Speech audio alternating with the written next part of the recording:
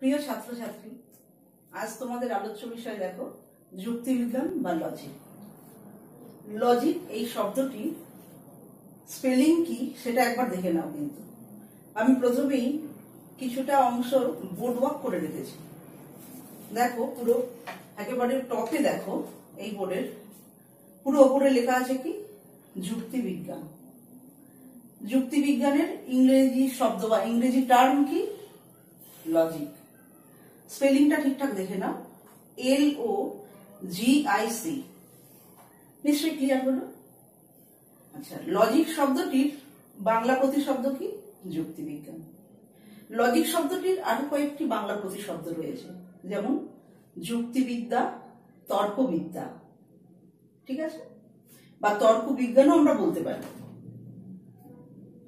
এইবার দেখো যুক্তিবিজ্ঞানের প্রাথমিক আলোচনার যে বিষয়বস্তু রয়েছে সেই বিষয়বস্তুর মধ্যে প্রথমেই পড়ে সূচিপত্র কি? তোমাদের ক্লাস টুয়েলভে প্রথমেই যে কন্টেন্টস দেখো, তোমাদের কি কি রয়েছে, তার আমি প্রথমেই একটা প্রিমিলারি কাজ করে রেখেছি। তো তো সূচিপত্রটি দুটো ভাগে বিভক্ত হয়েছে। বিভাগ ক এবং বিভাগ খ। বিভাগ খ সম্পর্কে আমি পরে তোমাদেরকে বলছি। বিভাগ কতে কি কি রয়েছে? কোন কোন চ্যাপ্টার রয়েছে? সেই সম্পর্কে যাতে তোমাদের কোনো রকম ডাউটনেস না থাকে। যাতে একটা ক্লিয়ার কনসেপ্ট তৈরি হয় বা একটা পরিষ্কার ধারণা যাতে তোমাদের তৈরি হয়। তার জন্য দেখো, প্রথমেই আমি একটা প্রাইমারি কাজ করে রেখেছি। তাহলে তোমরা এবার দেখে নাও, প্রথম অধ্যায়ে কি কি রয়েছে? যুক্তি। দ্বিতীয় অধ্যায়, বচন। তৃতীয় অধ্যায়, বচনের বিরোধিতা। চতুর্থ অধ্যায়ে রয়েছে অমাধ্যম অনুমান। পঞ্চম অধ্যায়ে নিরপেক্ষ ন্যায়। ষষ্ঠ অধ্যায়ে প্রাকল্পিক এবং বৈকল্পিক ন্যায়। লিখে নিয়েছো নিশ্চয়ই, তোমরা আমি সাজেস্ট করব। বলতে বলতে আরও একটা কথা বলতে চাই তোমাদের। যখন এই ক্লাসগুলো তোমরা ফলো করবে বা মেনটেন করবে, তোমরা কিন্তু খাতা এবং পেন নিয়ে বসবে। ঠিক আছে?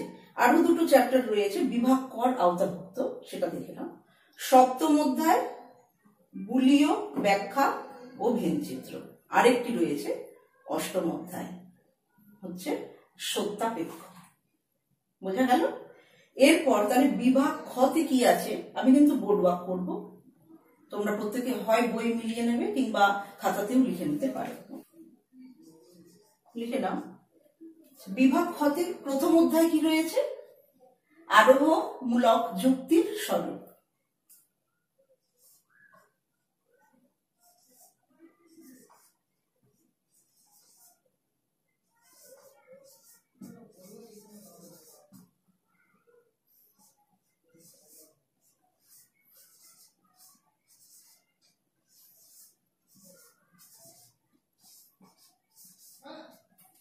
প্রত্যেকের নিশ্চয়ই লেখা হয়েছে।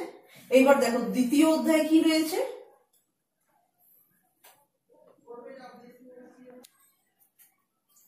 বিভাগ খ আরোহমূলক, তর্কবিদ্যা। লিখে নাও। প্রথম অধ্যায়ে তোমাদের রয়েছে আরোহমূলক যুক্তির স্মরণ ঠিক আছে? আচ্ছা দ্বিতীয় অধ্যায় রয়েছে কারণ। তৃতীয় অধ্যায় মিলের পরীক্ষণমূলক পদ্ধতি। চতুর্থ অধ্যায় রয়েছে, আরোহমূলক দোষ। তাহলে তোমরা জেনে গেলে, বিভাগ ক এবং খতে কি কি চ্যাপ্টার তোমাদের রয়েছে? হুম, কোন কোন অধ্যায় রয়েছে সে সম্পর্কে তোমরা পুরো একটা ক্লিয়ার ধারণা পেয়ে গেলে। পরিষ্কার একটা ধারণা তোমাদের তৈরি হলো। এবার যে নেক্সট টপিকটা আসছে, যে কোন কোন বই তোমরা ফলো করবে? কোন কোন বই পড়লে সেটা খুবই মডিফাইড হবে অ্যান্সারিং বা যাই বলো। তাহলে আমি যে যে বইগুলো রেকমেন্ড করব, আমি বোর্ড ওয়ার্ক করছি বোর্ডে আমি মেনশন করে দিচ্ছি যে কোন কোন রাইটারের রেকমেন্ডেড বই তোমরা ফলো করবে। এক নম্বর দাগ দিয়ে লেখো। ডক্টর বিমলেন্দু সামন্ত।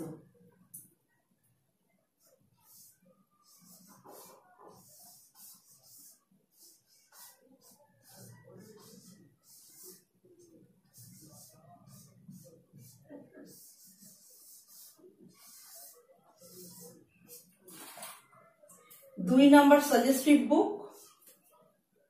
doctor Nil Ratan Mukhopadhyay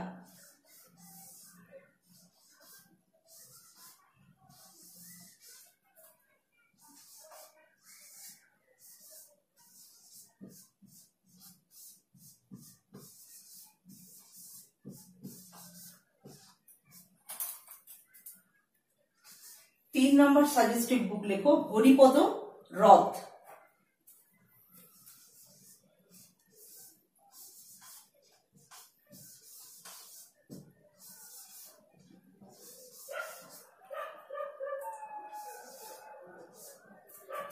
নম্বর দাগ দিয়ে লেখো, মধুসূদন মন্ডল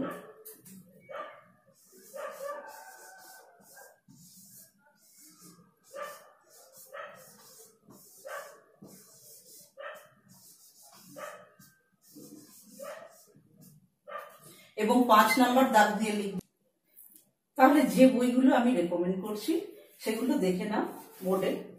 প্রথম রয়েছে doctor Bimalendu Samanta. Second recommended বই doctor Nilratan Mukhopadhyay. Third Haripada Rath. Fourth Madhusudan Mondal. Fifth doctor Samudranath Bhattacharya. তাহলে এই পাঁচটা সাজেস্টিভ বুক বা রেকমেন্ডেড বুক তোমরা যদি ভালোভাবে ফলো করো, পড়ো এবং অবভিয়াসলি টেক্সট বুক ঠিক আছে? আর হেল্পলাইন হিসেবে সাইডে তোমরা সহায়িকা রাখতে পারো। কিন্তু আমি প্রথমেই আমার ফার্স্ট প্রেফারেন্স হচ্ছে টেক্সট বুক অবভিয়াসলি ওকে এরপরেই আমরা চলে যাব আমাদের নেক্সট আলোচনার বিষয়ে। প্রথমেই দেখো, যুক্তিবিজ্ঞান সম্পর্কে প্রাথমিক যে আলোচনার বিষয় রয়েছে, পুরো আমরা বিষয়ের মধ্যে ঢুকে যাব। ঠিক আছে? তাহলে এখানে লজিক যে শব্দটি এসছে, অর্থাৎ যুক্তিবিজ্ঞান এই যুক্তিবিজ্ঞানের মানে কি? বা লজিক শব্দটির কীভাবে উৎপত্তি হয়েছে? অর্থাৎ লজিক শব্দটির উৎপত্তিগত অর্থ কি?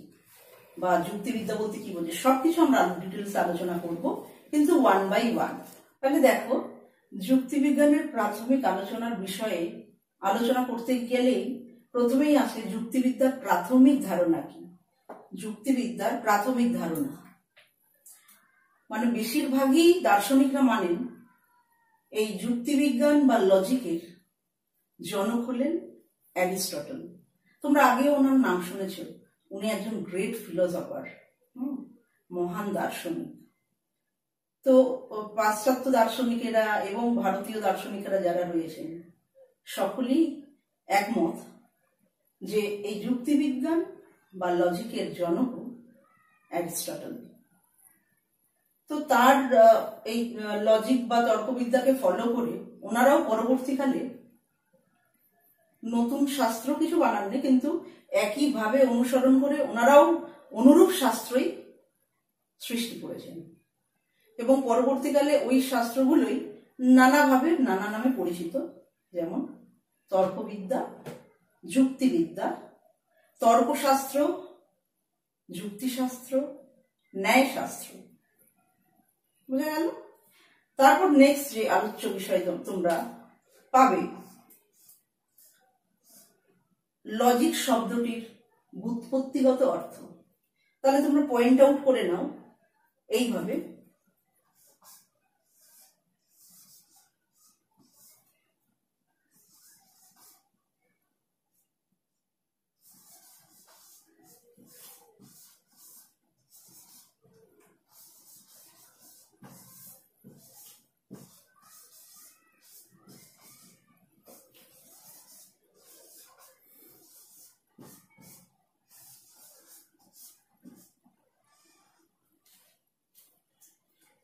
লজিক শব্দটির বুৎপত্তির অর্থ কি?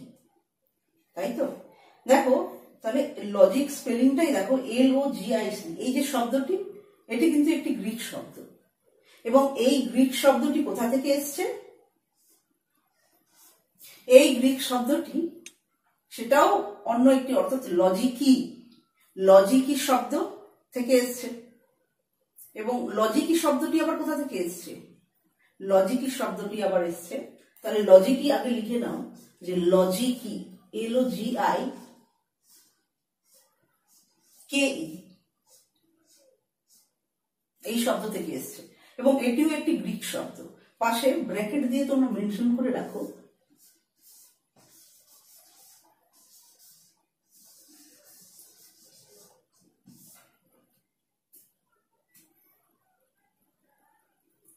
আচ্ছা এই লজিকি শব্দটি আবার কোথা থেকে এসছে? ল্যাতিন শব্দ লজস থেকে। হুম? তাহলে অ্যারোমার্কস দিয়ে বুঝিয়ে দাও।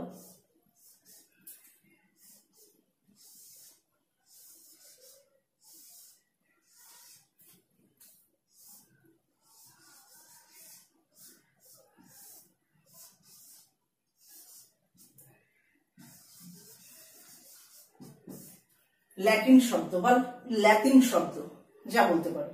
আর এই লজস শব্দটির মানে কি? বা অর্থ কি? লজস শব্দের অর্থ হলো চিন্তা বা ভাষা। তাহলে লিখে নাও। লজস শব্দটির অর্থ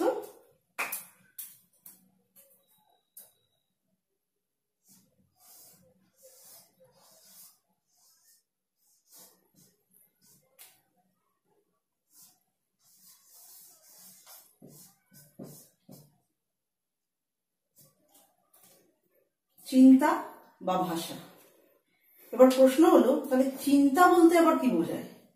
আমরা সাধারণত চিন্তা বলতে কি মনে করি?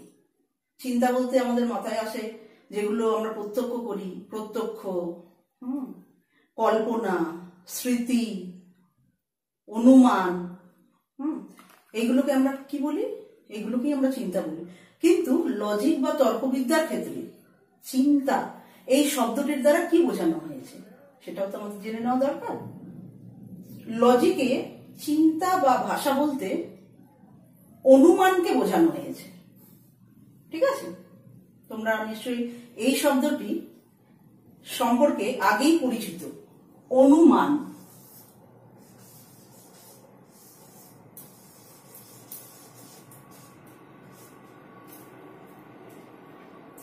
তোমরা ক্লাস ইলেভেনে অনুমান শব্দটি সম্পর্কে পরিচিত হয়েছ ন্যায় চ্যাপ্টারে। ন্যায় চ্যাপ্টার পড়তে গিয়ে সেখানে তোমরা জেনেছ অনুমান বলতে কি বোঝায়। আমি জানি, তোমরা জানো যে অনুমান বলতে তোমরা কি বোঝো বা তোমাদের আইডিয়াতে কি রয়েছে, সেটা আমি জানি, কিন্তু তাও আমি রিমাইন্ড করিয়ে দিচ্ছি। অনুমান হলো একটি মানসিক প্রক্রিয়া। সেই প্রক্রিয়ার মাধ্যমে কি হয়?